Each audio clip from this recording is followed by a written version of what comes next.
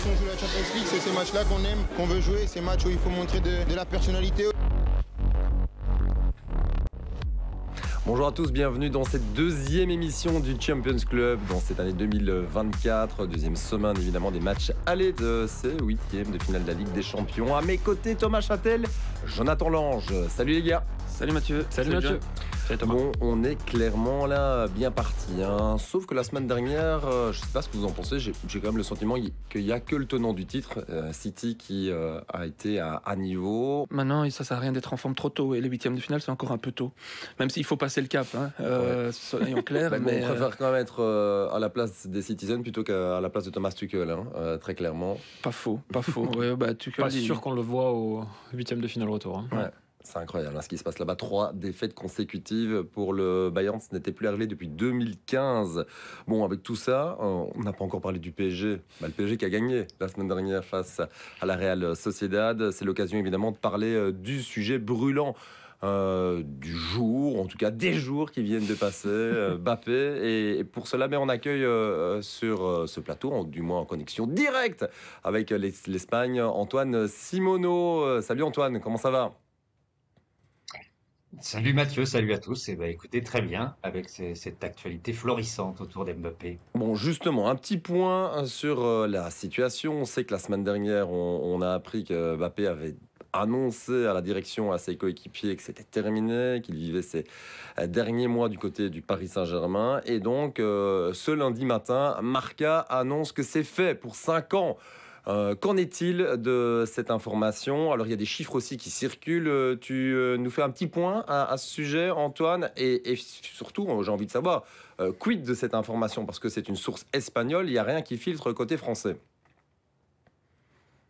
Alors, l'information, c'est le directeur adjoint de, de, Marca, qui est un journaliste généralement très très bien informé sur les transferts au, au Real Madrid qui l'a sorti. Il parle d'un contrat de 5 ans, donc jusqu'en juin 2019 pour Mbappé avec euh, la Maison Blanche, et aussi d'un salaire évolutif, euh, c'est-à-dire qu'il gagnerait euh, au départ 15 millions d'euros net par an, et ça pourrait aller monter jusqu'à 20 millions d'euros à la fin de son contrat. Le tout assorti de divers bonus liés aux objectifs qu'il pourra atteindre, c'est-à-dire euh, s'il décroche euh, le ballon d'or, le nombre de buts marqués en fonction des trophées euh, gagnés aussi. Et Marca évoque aussi ce matin une prime à la signature légèrement inférieure à 130 millions d'euros. Mais il, y a encore des, petites choses visiblement à, négocier. ce serait d'abord sa participation au JO. Mbappé veut les faire et le Real n'est pas vraiment très enclin à le laisser participer au, au JO, surtout qu'il aura disputé euh, l'Euro. Ils ont peur que ça fasse euh, comme Pedri, euh, le Barça qui avait enchaîné Euro, JO et qui s'était ensuite blessé pour toute la saison. et puis il y a aussi ces, ces fameux droits d'image, puisque le Real Madrid, sous la présidence de Florentino Pérez, c'est là qu'il récupère entre guillemets l'argent qu'il a investi euh, et, les, millions euh, qu'il a dépensés pour recruter euh, de grands joueurs, et notamment dans ce cas précis Mbappé, pour récupérer cet argent. Et, c'est 50-50, au Real 50% pour le joueur, 50% pour le club. Donc il y a encore, je pense, des petits détails à régler, mais c'est quasiment bouclé, ça c'est une certitude. Ouais, et donc beaucoup, beaucoup de boulot pour toi, parce que évidemment, si Mbappé débarque au, Real, ben, ça change la vie d'un journaliste, très clairement. Oui, et puis ça va être euh, surtout très passionnant à, suivre. Moi, ça me fait penser un petit peu euh, euh, à ce que j'avais vécu avec l'arrivée de, Zinedine Zidane comme entraîneur du, Real en janvier 2016. Voilà, ça va être à peu près sur les, mêmes échelles, la même dimension, mais ça va être surtout palpitant, à, palpitant à suivre parce que ce mariage-là, alors au Real, ils l'attendent depuis, depuis 7 ans, et puis les Français, je pense qu'ils l'espèrent aussi depuis un moment. Il a manqué un buteur au Real, pouvait-on lire ce matin dans les euh, colonnes de l'équipe, euh, article d'Antoine Simono. Euh, Thomas, justement, tu, as commenté, toi, la rencontre d'hier entre le Rayo Vallecano et le Real, derby madrilène, un but partout, et on sait aussi ben, qu'on a suivi en Ligue des Champions, évidemment, la, rencontre face à, Leipzig. Offensivement, évidemment, ben, il n'y a aucune équipe au monde qui peut dire non à, à Mais plus que jamais à l'heure actuelle, euh, c'est le profil qu'il faut au Paris Saint-Germain. Je ne sais pas, je me posais la question si euh, en faisant Mbappé, euh, il n'allait pas en quelque sorte se PSJiser, c'est-à-dire euh, abondance de biens n'est pas toujours euh, n'est pas toujours euh, idéal. Et donc quand je vois que finalement Ancelotti avec Rodrigo et, Vinicius avait trouvé la, parade, quand je vois que, Bellingham est, plus que bien à sa place, que Diaz se révèle complètement. Je me demande si c'est quelque chose qui hum, est essentiel pour, pour ce Real-là. Oh là Thomas Châtel qui directement d'entrée de jeu. Non, euh, le Real n'a pas besoin de, de Bappé, c'est ça. Je, pose juste la question si ça vaut l'investissement en vaut la peine. Quand j'entends les, chiffres, même si ce contrat me fait d'ailleurs penser un peu à mon premier contrat à gants progressif aussi chaque année. Ah ouais, bah, c'est ça avec un bonus aussi avec les copyrights. On sait, qui nous invitera au restaurant ce soir du coup. Euh, plus sérieusement, bon les 130 millions, ça correspond plus ou moins à l'indemnité de transfert qu'ils ne vont pas verser au Paris Saint-Germain. Euh, c'est plus ou moins la valeur, hein, on va dire, du joueur grosso modo.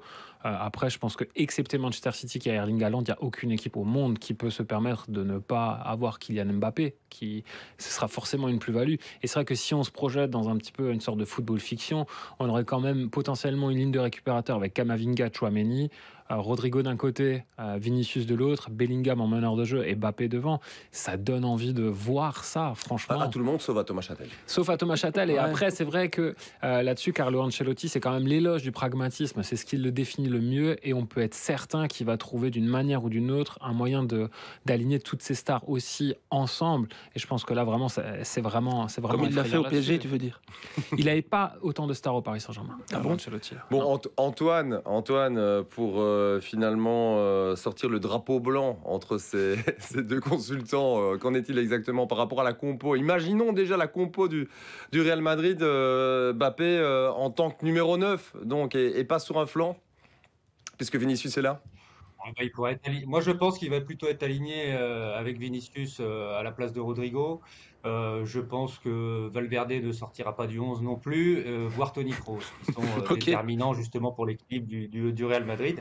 mais, mais surtout, le Real, je pense, moi, manque, contrairement à ce que peut dire Thomas, à, un buteur de classe mondiale. ils ont perdu Benzema, qui était capable de faire ça. Avant, il y avait Cristiano Ronaldo.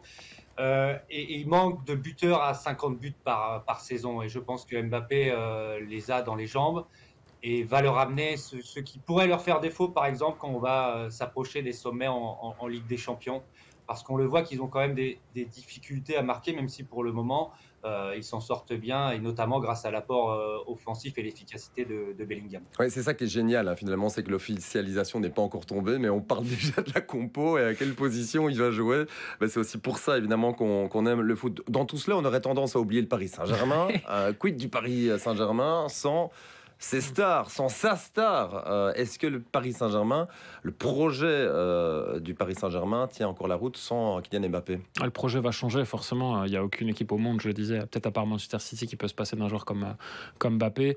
On fait quand même passer le message du côté parisien qu'on va recruter deux à trois joueurs de classe mondiale. Alors qui Forcément, c'est des noms qui ont déjà circulé du côté du Paris Saint-Germain. Victor Osimhen, je pense qu'il est déjà parti dans sa tête. On, en discutait avant hors antenne. un joueur comme Kimmich, son nom a circulé du durant cet hiver, et d'autres joueurs comme ça, peut-être une version plus collective, parce que forcément, numériquement, le remplacer par un joueur de la même valeur, ça n'existe pas, ce n'est pas possible, à part, à, part avec Erling Haaland qui n'est pas sur le marché.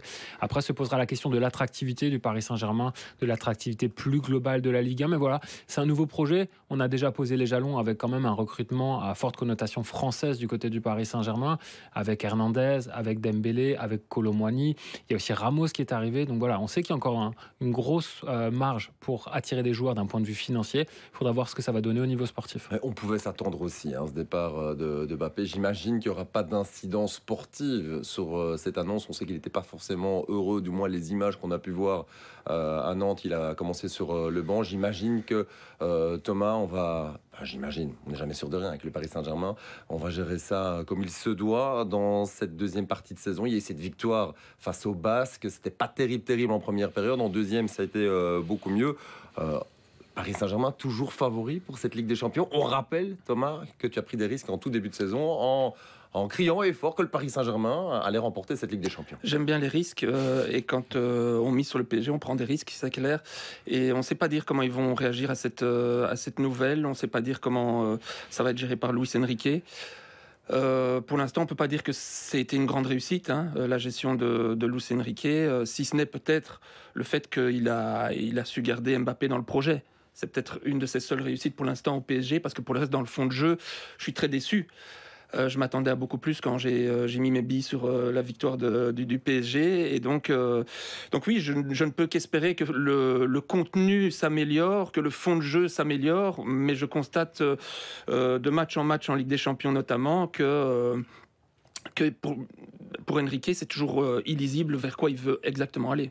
Très bien, voilà pour le chapitre euh, Bappé. Il y aura encore énormément de pages à écrire dans ce chapitre, ça c'est sûr et certain. Je me demande si d'ailleurs on va pas consacrer un chapitre euh, lors de chaque émission. On euh, aura un Real PSG, c'est déjà écrit en Ligue des Champions, va arriver, hein, c'est incroyable. Et pourquoi pas Pourquoi pas y croire? Ben Pour cela, il faudra se qualifier évidemment pour le Paris Saint-Germain et le Real Madrid, deux équipes en balotage favorable. On est parti donc avec deux nouvelles formations qui vont s'affronter cette semaine et là aussi ça vaudra la peine d'être vécu sur Pixport et sur Pix Plus Sport. Programme de folie véritablement avec des équipes espagnoles aussi, voilà qui va intéresser Antoine, ça c'est sûr. L'Atlético demain face à l'Inter, ça va être chaud, chaud, chaud bouillant du côté de Meazza. Euh, le coup d'envoi de ce multi-live 20h15 bien sûr. PSV Eindhoven, Borussia Dortmund sur Pix Plus. Et puis mercredi, bah oui, hein, sur papier là aussi, c'est un programme qui a de la gueule. Euh, Naples, Barcelone, euh, tandis que Thomas, pour sa part, sera en bord de Douro pour Porto face à Arsenal. On aura l'occasion de parler des Dragons un peu plus tard dans cette émission, mais vous l'avez compris, il y a un match que tout le monde veut voir. Ben, vous allez dire, on a envie de voir tous les matchs, mais c'est le principe du multi-live. Il y a surtout une affiche et on a dû évidemment choisir une affiche. Elle, est consacrée en tout cas à une équipe espagnole. Et euh, bah, on aurait pu choisir Inter Atletico, mais non. Euh, ça sera Naples euh, face au FC Barcelone. L'immanquable. L'immanquable, vu le contexte aussi, on sait que Xavi va quitter euh, cette équipe du FC Barcelone en, fin de, saison. Et Antoine, on se dit euh, vraiment que cette Ligue des Champions est peut-être l'occasion aussi de briller une dernière fois, parce que finalement, depuis l'annonce de son départ, bah, j'ai envie de dire, et je force volontairement le trait, que le FC Barcelone va un peu mieux. Oui, c'est très subjectif, hein, euh, parce qu'ils ont encore peiné ce week-end pour arracher une victoire face au Celta Vigo, qui est une équipe en, en grande difficulté en, Liga. Euh, je pense que moi, Xavi, après cette décision, il a pris les devants parce que tôt ou tard, il allait se faire couper la tête par son président euh, Joan Laporta au vu des résultats du Barça cette saison, au vu surtout du jeu et des prestations vraiment très faibles proposées par, par, le Barça. Il y a un petit chiffre qui est assez euh, révélateur, c'est qu'en 36 matchs, le Barça n'a gagné seulement que 6 fois par plus de 2 buts d'écart cette saison. Euh, il a les, pires difficultés pour, l'emporter contre des équipes faibles ou, moyennes de, la Liga. Ils ont gagné énormément de, matchs à l'arraché comme ce week-end dans, les dernières minutes. On sent un, un manque de maîtrise, de confiance, d'idées. Euh, c'est assez, assez criant. Et je pense que Xavi a senti qu'il avait plus les leviers pour euh, redonner de l'allant ou un second souffle à, son équipe et que l'an prochain, il allait faire face à, finalement aux mêmes problématiques. Et la plus importante d'entre elles, c'est que le Barça euh, est dans l'incapacité financière de, recruter et donc de bonifier euh, son effectif. Oui, Thomas, tu as été évidemment très très attentif à ce qui s'est passé. Hein. Tu avais commenté, si je ne m'abuse, la rencontre face à Villarreal il y a, quelques semaines de cela. C'était le match finalement coup pour, euh, pour Xavi, euh, ton, ton, point de vue par rapport à ce qui se passe justement du côté du Barça, parce que quand on fait un point aussi sur euh, le, classement, le Real 62, je parle de la Liga évidemment, le Real 62, Gérone est toujours là avec ses 56 points, le Barça 54, l'Atletico 51. Bah, je peux que aller dans le sens d'Antoine dans le manque d'idées qu'il y a dans le jeu de, Xavi avec le Barça. J'ai aussi commenté l'élimination en coupe face à Bilbao, j'ai commenté la, Super Coupe et l'humiliation face au Real. Euh, et, de nombreux petits matchs, entre guillemets, euh, dans lesquels finalement ils s'en sont sortis par miracle, comme ce week-end. Euh, je trouve que Xavi n'a jamais su en effet mettre sa griffe sur cette équipe. Et pourtant, on a beau mettre le financier en avant, les problèmes financiers en avant, il a quand même eu des joueurs comme Cancelo et Joao Félix. C'est pas donné à tout le monde de transférer ses joueurs, même si c'est en prêt mais il n'a jamais trouvé un, 11 équilibré. Je parlais, de Luis Enrique euh, et de ses difficultés euh, dans le contenu. C'est la même remarque pour Xavi. Vous vous souvenez du dernier match de, du Barça en Ligue des Champions? Face à l'Inter ouais, défaite face à, à l'Antwerp, voilà qui en dit long, euh, bien sûr. Bon, Jonathan. Mais je trouve qu'on est un peu dur avec lui, euh, parce qu'il faut se souvenir euh, dans quel état était le Barça quand il l'a pris après Kouman. Ils étaient 9e. ils avaient seulement 17 points. Et j'ai fait les comptes, en fait, depuis qu'il a repris le Barça, il a pris autant de points que le Real sur la même période. donc voilà, il faut quand même pas non plus banaliser ça. Et c'est vrai qu'Antoine parlait des succès étriqués cette année. Ils sont devenus champions grâce à ça l'année dernière. Ils ont gagné énormément de matchs par un seul but d'écart. Et surtout, ils avaient une solidité défensive qui a complètement volé en éclats. L'année dernière, ils ont pris seulement 20 buts en championnat. C'est un chiffre qu'ils ont atteint cette année après 18 journées. Là, ils en ont encaissé 34. Donc voilà, se pose la question est-ce qu'ils étaient en sur-régime l'année dernière ou est-ce qu'ils sont en sous-régime cette année? Et je suis désolé d'en revenir à ça, mais financièrement, ils ont recruté un joueur pour 3 millions d'euros, c'est Oriol Roméo le départ de Busquets, ok, il courait plus, il avançait plus, mais il était déterminant dans l'équilibre de l'équipe. Et là, on n'y arrive pas et il y a un vrai déficit de qualité. Je pense que la question qu'il faut se poser aussi, c'est est-ce qu'il pouvait faire mieux avec cet effectif-là? Personnellement, j'en suis pas convaincu. Bon, Antoine, je, reviens encore une fois à, cette Ligue des Champions. Évidemment, euh, on, sait que City fait figure d'épouvantail. Est-ce que cette équipe euh, du FC Barcelone peut sauver sa saison en allant le plus loin possible dans ce parcours, en sachant aussi que Naples vient de changer d'entraîneur euh, Ça risque là aussi d'être explosif du côté de Naples. Ça sera pour mercredi soir moi, Mathieu, j'y crois pas du tout. Euh, je crois que la chance qu'ils ont eue, c'est d'hériter de, Naples, qui est peut-être encore plus mal en point que le Barça euh, cette saison. Aujourd'hui, le problème du, Barça, c'est qu'il dépend uniquement d'un joueur de 16 ans, qui est Lamine Yamal. Euh, le départ de Dembélé cet, été, pour moi, qui était déterminant offensivement pour le Barça, a été extrêmement préjudiciable. Il faut ajouter à cela la blessure et la fin de saison de, de Gavi, était pour moi l'âme de cette équipe, c'était fin novembre. Euh, on peut ajouter aussi celle de Ter Stegen. Il y a un Gundogan qui est arrivé qui est extrêmement décevant, je trouve, et qui n'apporte quasiment, rien. Euh, il y a Pedri qui n'arrive toujours pas à retrouver euh, son niveau. Il y a Lewandowski qui a eu une période d'inefficacité assez incroyable. Donc je pense que mentalement et en termes de confiance, ils sont pas prêts pour aller au bout, en termes de dynamique, pour, pour aller au bout. Et puis Jonathan le, le disait euh, très justement, ils ont perdu tout ce qui faisait la force du Barça l'année dernière et qui lui ont fait gagner la Super Coupe d'Europe et surtout la Liga, c'est sa solidité défensive. Euh, à l'image d'un Jules Koundé qui est l'ombre de lui-même cette saison et, qui commet euh, d'énormes erreurs. Mercredi, ça sera face à Naples, a priori avec Ozimène. Hein, qui n'a plus joué euh, pour le Napoli depuis la fin du mois de décembre. Évidemment, on se souvient de sa suspension et aussi évidemment de cette canne. finaliste malheureux, Victor Ozimène qui n'a pas voulu jouer face à Genoa ce week-end. Et c'est donc Cyril Ngongue qui a marqué un buteur belge. Ngongue qui est dans la sélection aussi, la sélection européenne, là où Leander Dundonker n'est pas. Dundonker qui s'exprimera d'ailleurs dans le multilive, ce sera pour euh, mercredi. Vous retrouverez l'essentiel euh, de cette interview aussi dans les colonnes de la DH. Changement d'entraîneur, c'est peut-être une bonne nouvelle pour Dundonker euh, d'ailleurs, puisque Mazzari n'est plus là. C'est Francesco Calzona qui débarque, lui qui est le coach de la Slovaquie. C'est d'ailleurs lui qui entraînera la Slovaquie le 17 juin prochain, parce que je rappelle qu'il y a quand même un Belgique-Slovaquie au programme. Et il prend dans ses valises un certain Marek Hamzik. Ouais, c'est un joli renvoi d'ascenseur parce que c'est Marek Hamzik hein, qui l'a attiré sur le banc euh, de la sélection slovaque. C'était sa première expérience d'entraîneur. Comment ça s'est passé d'ailleurs Vous avez il, était à, une station-service, il faisait le plein et il a décroché son téléphone à une station-service, ce qu'il ne faut jamais faire, surtout pas. Et là, à ce moment-là, il lui a dit bah, Je vais un petit peu réfléchir, mais bon, c'était, du tout vu. Mais à Naples, voilà, c'est un nom qui résonne quand même familièrement aux oreilles des sueurs parce qu'il a été l'adjoint de Sarri et de Spalletti. Donc on espère du côté napolitain avoir la même réussite avec lui. Mais voilà, euh, on sait que le président napolitain, généralement, changeait pas trop d'entraîneur. Là, il a viré Mazzari, euh, qui avait un bilan encore plus mauvais que Rudy Garcia. Et le Napoli, c'est le plus mauvais champion en titre des 60 années en Italie. Donc voilà, il y avait urgence. 27 points de retard sur euh, l'Inter. C'est un véritable gouffre. On parlait d'immanquable. Il honnêtement une autre soirée à ne pas louper, c'est celle de mardi entre l'Inter et l'Atlético. Ça va être chaud, je le disais, parce qu'évidemment l'Inter n'en finit plus de gagner 9 points d'avance pour les interistes aussi euh, du côté de la Serie A, 9 points d'avance sur euh, la Juve qui a perdu des plumes euh, ce week-end. Et puis une attaque de feu aussi, c'est la troisième année consécutive que l'auteur Martinez parvient à marquer au moins 20 buts en Serie A. Tout va bien dans tous les secteurs de jeu pour cette équipe de l'Inter avec une 15e clean sheet aussi cette saison. On se met à la place de Diego Simeone, Antoine, pour qui c'est un retour évidemment du côté de Milan. On sait qu'il est passé par la Serie A en tant que joueur. Est-ce que finalement, ça pouvait pas être le pire des tirages pour l'école Cheneros euh, de voir se farcir comme ça les finalistes de la dernière Ligue des Champions? Les, finalistes, oui, exactement. la dernière Ligue des Champions, c'était euh, face à City, on s'en souvient.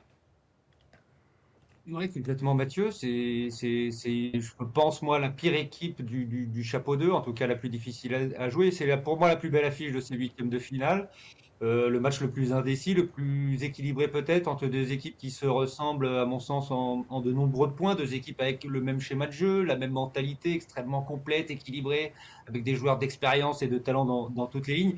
Et effectivement, Diego Simeone craint particulièrement euh, cette attaque de feu Thuram, Lautaro Martinez à, l'Inter, qui est aussi la meilleure attaque de, de, Serie A, si, si je ne m'abuse.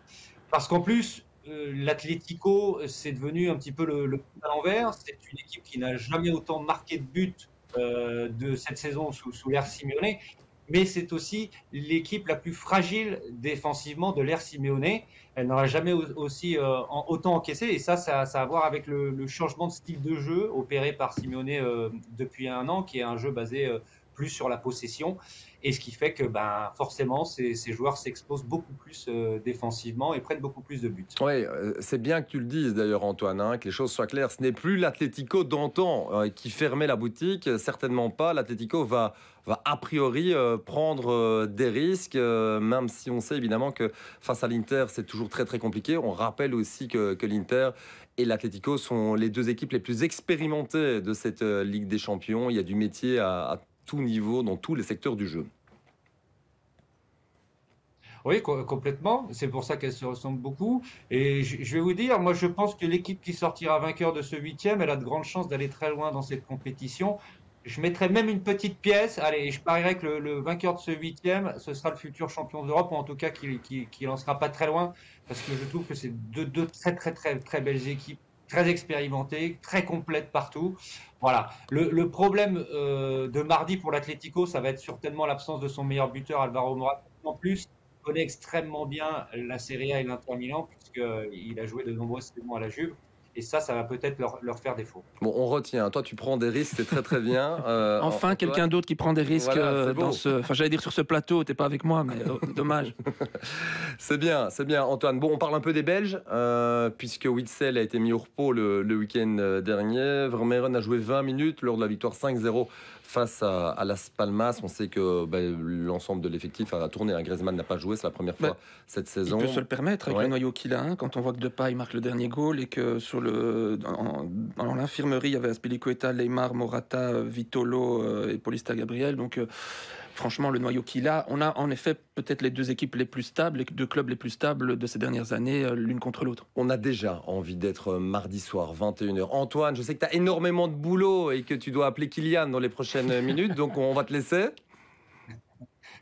À bientôt. merci à toi. Mathieu. Euh, et merci pour tout. C'était sympa, comme euh, d'habitude, et surtout très, très intéressant, comme toujours. Merci, Antoine Simono. On te lit demain dans l'équipe. Notamment, on parlait des Belges. Ben, ça continue euh, d'ailleurs plutôt bien pour un certain. Johan Bakayoko, on en parle maintenant. Noir, jaune, rouge. Oui, on a revu son but hein, tout à l'heure dans le petit euh, teaser. Lui qui avait marqué son premier but en Ligue des Champions du côté de Bollard. Euh, ça tombe bien. Johan Bakayoko, eh bien, on, l'a rencontré avec euh, l'équipe de Pix Plus Sport. C'est Wesley Song qui a été son entraîneur chez les jeunes en équipe nationale, qui a pris la route pour aller à, Eindhoven et qui lui a posé quelques questions. Reportage à voir évidemment dans le multilive. Et là aussi, l'essentiel de cette interview dans les colonnes de l'ADH. C'est pour mardi. C'est in de competitie, 13 in totaal. Zes goals, waaronder eentje in de Champions League. Dat zijn statistieken. Is dat ook wat Peter Bos jou bijvoorbeeld meegeeft? Blijven doen, blijven doen? Aanvallend zegt hij me niet heel veel, behalve ja, dat ik gewoon moet gaan. Als ik de bal heb in 1 tegen 1 gewoon opzoeken. Als 2 tegen 1 is goed kijken of het kan of niet en dan uithalen soms. Maar 1 tegen 1 il revient évidemment hein, sur le, fait euh, d'avoir des stats, à quel point c'est important pour euh, Peter Boss et euh, aussi de, pouvoir se montrer décisif dans sa faculté aussi de dribbler. Ben oui, c'est un fameux numéro qui était malade euh, figurez-vous, ce week-end. Il est incertain, mais a priori, euh, ça devrait quand même aller euh, pour Johan Bakayoko. très clairement, son rôle en perpétuelle évolution pour cette équipe du, PSV qui joue donc face à Dortmund. Là aussi, on, parle de, superbes affiches et, ça reste très ouvert.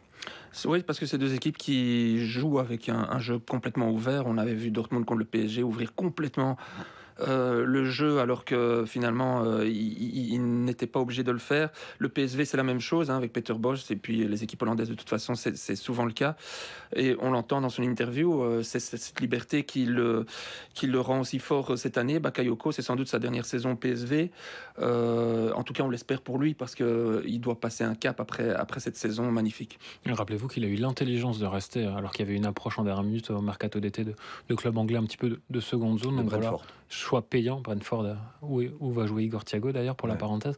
Mais voilà, c'est un choix vraiment payant. On le voit cette année, il découvre la Ligue des Champions. millions entre Thiago et Bakayoko. Euh, il n'y a pas photo. Euh, il n'y a plus de budget en tout cas. Non, oh, on ne sait jamais avec les Anglais. Mais c'est vrai que voilà, euh, il va être champion des Pays-Bas. Il aura joué la Ligue des Champions. Il sera allé au moins jusqu'en huitième de finale. Je pense que la prochaine étape dans son évolution, c'est de partir pour un championnat, on va dire, un peu plus cadré, où il aura moins d'espace qu'aux Pays-Bas pour vraiment encore évoluer. Et là-dessus, ça me fait un petit peu penser au cheminement qu'a effectué Loïs Openda, dont on a parlé la semaine dernière, en fait. Il a eu tous les espaces du monde aux Pays-Bas. Après, il a montré en France, dans un championnat où c'est nettement plus compliqué de faire la différence en tant qu'attaquant, qu'il était capable de le faire. Et on le voit maintenant qu'il brille euh, en Bundesliga, dans l'un des championnats les plus relevés du monde, donc à Bakayoko limité. Ouais, il fut un temps, on aurait parlé énormément des Belges aussi de Dortmund, il n'y en a plus qu'un. Et oui, ça se conjugue maintenant euh, au singulier, cette histoire de Belge à, Dortmund. C'est Julien Duranville euh, qui alterne beaucoup entre les U19 et, les pros. Euh, il a eu une énorme poussée de croissance qui explique aussi certains pépins musculaires parce que voilà, il a fallu que les muscles suivent derrière. Et voilà, il va bientôt fêter ses 18 ans, ce sera début de mai. Et normalement, il aura comme cadeau une prolongation de son contrat. On parle d'un bail jusqu'en 2027. Donc voilà, c'est aussi une preuve qu'on compte sur lui à Dortmund et on est décidé à, à prendre son temps. Mais je pense que du côté de Dortmund, en termes de politique de jeunes, en post-formation, on sait faire, on l'a vu avec Jude Bellingham. Ça, c'est sûr et certain. Rendez-vous donc mardi soir, coup d'envoi 21h avec Quentin Volvert et Alex Teclac en direct d'Eindhoven. Voilà une séquence que j'adore. On l'a relancée la semaine dernière. Ça a valu pas mal de discussions avec Alex Teclac. J'imagine que ça sera le cas aussi avec Thomas Châtel. La compo de Domenico. Vous connaissez le principe, hein, évidemment. Euh, la Belgique joue ce soir, débute son euro ce soir. Avec quel compo Thomas Châtel euh, se propose-t-il face au peuple ce soir? C'est une grosse, grosse. Euh, c'est une grosse, grosse responsabilité. Dans ces cas-là, il faut, il faut assumer jusqu'au bout tous ces choix dans les moindres détails. On y va avec toi, Thomas. Que des joueurs titulaires dans leur, dans leur club. Tu nous cites les noms, donc. Hein. Si ce n'est le retour d'Onana, Castells dans les buts, Castagne euh, de Bast, Vertonghen, Theat, Onana, Mangala, Trossard, KDB, Doku et Lukaku en pointe. Il y a quand même une certaine logique, euh, Thomas. Moi, quand je te suis, euh, là, je, suis, bah, j'ai envie de dire 100% d'accord. J'ose le dire, 100% d'accord par rapport à cette compo. J'ai pas envie de mettre de la pression sur Jonathan. c'est vrai qu'il y a Open Dash, toujours un peu partagé par rapport à Open Dash. Qu'est-ce qu'on en fait? Ben, En tout cas, ben, tu le mets sur le banc. Oui, parce qu'il faut faire un choix. Je, pense que Lukaku Openda, ben on en a parlé, mais c'est se priver en tout cas d'un ailier. Et pour l'instant, je ne me prive ni de Doku, ni de Trossard. Par contre, je suis obligé de me priver de Bakayoko, c'est dire. Et pour faire jouer KDB aussi libre qu'on l'a vu jouer à City contre Copenhague, pour moi, il faut un double pare-choc. Et ce double pare-choc, je ne vois personne d'autre pour l'instant capable de faire comme Onana et Mangala.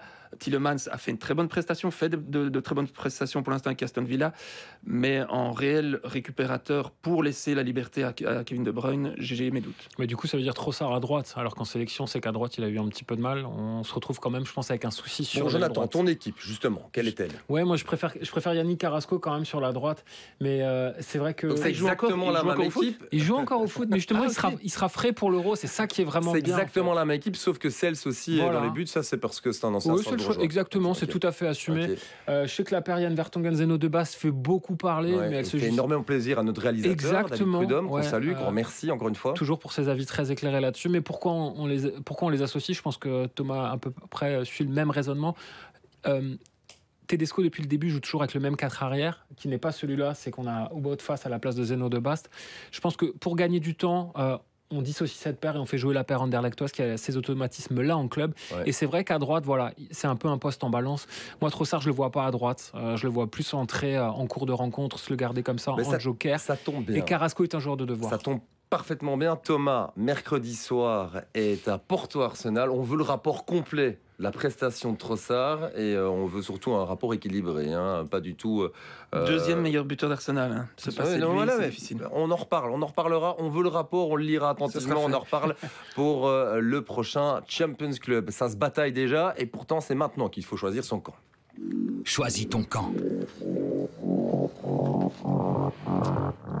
Là, on parlait d'Arsenal. Euh, justement, la question du jour, Jonathan, quelle est-elle? Est-ce qu'Arsenal est redevenu un grand d'Europe, hein, Mathieu Oui ou non, selon toi? Oui, évidemment, c'est la fin d'une éclipse, messieurs. Le grand, retour des Gun- le grand retour des Gunners a sonné avec des stats canons. On n'aurait plus d'Arsenal, Thomas Châtel. On tremble désormais. En Angleterre d'abord. Depuis le début de la saison dernière, City a pris 142 points, Arsenal 139, Liverpool 124. En Ligue des Champions, troisième meilleure attaque de la phase de groupe, ils en ont mis 16, comme le Real, un autre grand.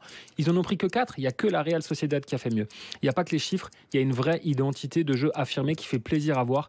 City a son Rodri qui a tant brillé l'an dernier. Arsenal a trouvé son pendant avec Declan Rice, celui qui lui permet aux autres de briller. Et le meilleur est sans doute à venir parce que cette équipe, elle n'a que 25 ans de moyenne d'âge et elle n'a pas fini de grandir. Pas mal, pas mal. Il faut venir avec des bons arguments. Thomas, selon toi, euh, ce n'est pas le cas. Non, parce que la question, elle pourrait être aussi euh, mise à part City, qui est un grand d'Europe en Angleterre finalement. Est-ce que parce que vous avez réalisé une série de cinq victoires en, en Première Ligue contre Burnley, Nottingham euh, et autres Crystal Palace, vous êtes un grand d'Europe, Jonathan? Ah, Tu dévalues le championnat Est-ce- anglais, Est-ce que petit. parce que vous avez terminé premier de votre groupe de Ligue des Champions devant Lens, PSV et ce qui reste de Séville, euh, vous êtes un grand d'Europe euh, Non, mais vous avez marqué 16 buts, Thomas Châtel, et vous n'en avez pris Non. que 4. Restons sérieux. Pour être un grand d'Europe, il faudrait commencer par gagner la Première Ligue. Ça fait très très longtemps. Ça va peut-être venir cette année. Et il faudrait, terminer, il faudrait terminer dans le dernier carré de cette Ligue des Champions, au moins ça. Et alors seulement, vous pourriez postuler à se mettre à la table d'équipes comme euh, le Bayern, City ou le Real. Ou le PSG. Ou le PSG. Pas mal, c'est vous qui décidez à la maison. Est-ce que Arsenal est un grand d'Europe ou pas? Euh, À vous de voir. En attendant, l'adversaire sera coriace, ça c'est sûr et certain, puisque ce sont les Dragons du FC Porto qui accueillent les Gunners. La belle histoire.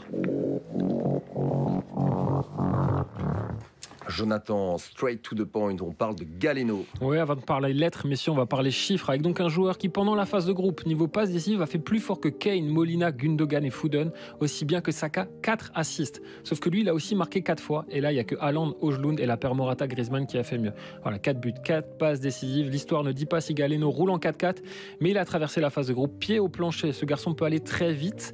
Il, il a aussi fallu qu'il freine parfois, mais il arrive donc à réaccélérer à chaque fois. Wenderson, Rodriguez, Do Nascimento, Galeno, ou plus simplement Galeno est né à 21 octobre, comme Kim Kardashian t'amuse, Mathieu. C'est gratuit. C'est un gamin Pourquoi du nord-est du Il faudra quand même Brésil, expliquer pourquoi, quoi. parce que tu gagnes trop au quiz, de Barra do Corda, qui débarque dans le club de Trinidad à 17 ans. Et là, l'entraîneur Rubinho découvre, comme il l'explique à ESPN, un gamin très différent. Frêle, sans base technique, habitué à jouer pieds nus. Mais il est aussi très très maigre, presque trop. Pour rester dans les voitures, c'est un moteur de Ferrari, mais avec un châssis de Dacia. Mais Galeno, il va vite. En 2016, deux ans après son arrivée, après 10 matchs et 5 buts seulement en équipe première, le voilà qui s'en va au Grêmio Annapolis. Pour le prestige, on est d'accord, il y a mieux. Pour se faire remarquer, par contre, ce club, c'est une sorte de tremplin garanti vers l'Europe qui se vante en 25 ans d'avoir envoyé 150 joueurs vers le vieux continent. Et Galeno est l'un d'eux. Janvier 2017, il est prêté à Porto, qui six mois plus tard l'achète. Et voilà comment ce fan de Neymar et de Ronaldinho se retrouve à préparer la saison 2017-2018 avec Iker Casillas. Mais comme souvent chez les Dragons, on fait des paris et des prêts. Pour le gaucher, ce sera 6 mois à Portimonense, puis une saison à Rio Ave, et Braga sent qu'il y a un coup à faire et l'engage pour 4 millions d'euros. Mais Porto prend ses précautions, garde 50% de ses droits, ce qui servira. Tout s'accélère chez les Arsenalistas avec 3 très belles années et 6 mois de folie en 2021. En mai, c'est l'homme du match lors de la finale de la Coupe remportée contre Benfica. À l'automne, 6 buts en 6 matchs de Ligue Europa et Porto qui le fait revenir il y a 2 ans. 9 millions d'euros très bien investis. L'an passé, Galeno, c'est 15 buts et 9 passes décisives. C'est ce récital contre Bruges. C'est cauchemar pour Brandon Mekele. Et ce bad buzz aussi sur les réseaux sociaux quand, l'an passé, contre l'Inter, dans un duel avec Denzel Dumfries, il se fait baisser le short 4 minutes avant que Romelu Lukaku marque. Et cette année, c'est encore plus fort, surtout en Ligue des Champions. Et on comprend pourquoi le Portugal l'a naturalisé en urgence, parce que qui sait, Galeno rimera peut-être bientôt avec Euro. Super, super, Jonathan. J'imagine qu'on va parler de joueurs naturalisés. Eh bien non, on va parler On des aurait pu. Bré- On aurait pu. Ah, il a préparé tout son quiz là-dessus. Ah, Et ça, c'est voilà. embêtant. Ça, Bon, le classement, le classement avant ça pour euh, calmer Thomas Châtel, De deux, pour hein. voir ce qu'il en est. Ah bah ouais, c'est vrai qu'Alex Teclac la semaine dernière Ah ouais a mis les points sur les i. Ah, parce que je rappelle qu'on recommence à, à zéro. hein. J'avais euh, tellement écrasé. Ah ouais, deuxième manche, deuxième manche. Voilà, les compteurs sont remis à zéro. 2-2. Allez, on y va. Donc ce sont les Brésiliens du FC Porto. Moi, je suis défenseur. J'ai le même prénom qu'un at- attaquant portugais Pep, qui a fait pleurer la France en 2016. Et mon nom de famille doit faire envie à certains syndicalistes. Je me suis fait les croiser comme Thibaut Courtois, mon coéquipier en ce moment au Real Madrid. Un défenseur. Militao. 1-0. Si je le dis avec l'accent, c'est deux points. Non. Sinon, je veux bien le redire. Je suis le troisième meilleur buteur de l'histoire du FC Porto. Alors que je ne suis resté que 4 ans. Jardel. Ouais, bien joué. 2-0, est-ce que j'arrête? Je pense Mm. que je, je vais quitter le plateau. Alors moi, je m'appelle déjà fait celle-là. Givanildo Vieira do Souza. On dit que je suis incroyable. Pour moi, Porto, c'est 4 saisons, 170 matchs, 78 buts, avant que j'aille accompagner Witzel au Zénith et que je parte moi aussi en Chine avec Hulk. mon- Ouais, Ouais, bien, bien. Alors mon vrai nom à moi, c'est Anderson Luis de Souza. Pour moi, Porto, c'est 248 matchs, 49 buts, une Ligue des Champions et une naturalisation portugaise. Je suis parti ensuite au Barça, dont je suis dirigeant. en Déco. Déco. Hein Oh, Thomas Châtel, plus rapide, Ouais, plus plus rapide. Attention, Ouais, il est la balle de agressif, match. là, il est prompt sur la balle. Ça s'appelle une remontada. J'ai joué 41 matchs et j'ai marqué 4 buts pour Porto. J'ai été le meilleur numéro 6 de la fin des années 2010. Mon cousin français adore le Globi Boulga. Je me suis perdu à Manchester United après Merci avoir tout euh, gagné au cet Real Madrid. J'ai tout gagné au Real, je suis à Manchester United où je mets plus un pied devant l'autre. Casemiro. Casemiro. Oh, c'est pour moi. C'est Au pour moi. Ça n'a jamais été aussi serré. Bravo. Franchement, Thomas Châtel, bravo. Bravo, On sent, on sent que les consultants sont Ils montent en puissance. C'est les huitièmes de finale, ça. d'année 2024, la crème de la crème. Thomas, bon, euh, ça Belle, va belle être victoire. encore très tendu d'ici la, la fin de saison. Euh, merci, ça a été riche, ça a été très dense Plaisir. aussi. Si c'est tout aussi riche et dense tout au long de la semaine, ça promet. Thomas, excellent voyage Merci. du côté du Portugal. Rendez-vous mardi soir, hein, Thomas. Tu seras sur euh, le plateau en compagnie de Marc Delire et Benoît Tans. Jonathan, on se retrouve dans quelques semaines. Le prochain Champions Club, c'est pour le début du mois de mars. D'ici là, portez-vous bien. Passez une excellente semaine dans notre compagnie sur Pix Plus Sport. Et n'oubliez pas de lire la DH, bien sûr. Ciao.